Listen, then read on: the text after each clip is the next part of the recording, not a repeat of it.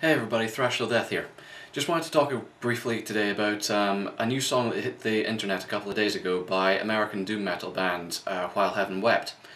Um, While Heaven Wept are a fairly underground band who have just recently in the last couple of years been uh, making moves towards the mainstream.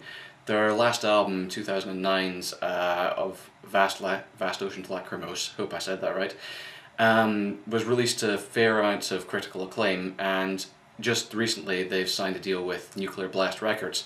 They've got their new album Fear of Infinity coming out on April the 22nd and just two days ago uh, there was a live recording of the first ever performance of their new track Obsessions Now Effigies um, from a festival in Athens.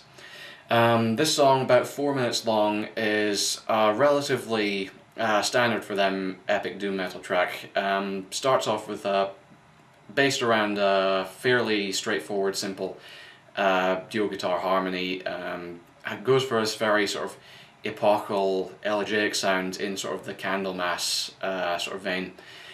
Um, go just sort of build up, building on that basic riff um, as only epic doom metal can, just sort of building and building on this sort of one very relatively simple idea to towards this climax where it just sort of breaks out into this really dense heavy uh, chugging riff. And it's a really well structured song, really well written. Um, and the sound quality, I'll include a link to the video in uh, the description. Um, very good um, performance from the band members, even though the sound quality, obviously, live recording, not perfect. Um, yeah, the it's um, While Heaven Wept are sort of um, they, along with uh, their former label mates Atlantean Kodex, seem to be part of a new movement towards this sort of um, almost simplified form of epic metal.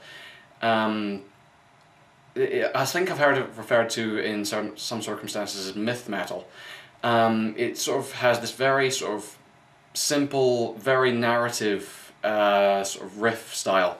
Often long songs. This one, four minutes long, was uh, probably one of the shortest ones I've heard in this style. Um, takes cues from Candlemass, but at the same time Bathory as well.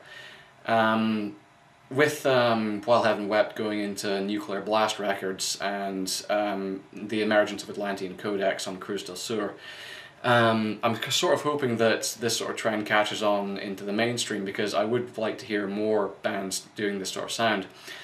Um, although for me, probably the biggest draw for While Heaven Wept's music is um, their vocalist Rain Irving.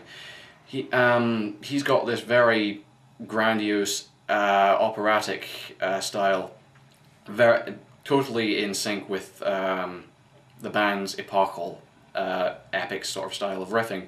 But at the same time, it's sort of tender and intimate at the same time, very sort of emotionally resonant, and it's just a very great vocal styling that more metal vocalists could do to try.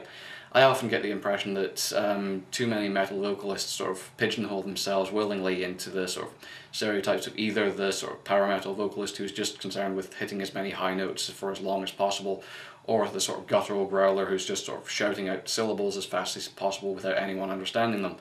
And I do like it when uh, metal vocalists, obviously there are good singers within those archetypes, but I like it when there are, are more vocalists who break out of those archetypes as well and Rain Irving's definitely one of those. Um, so yeah, While Heaven Wept, uh, definitely a band to keep your eye on at the moment.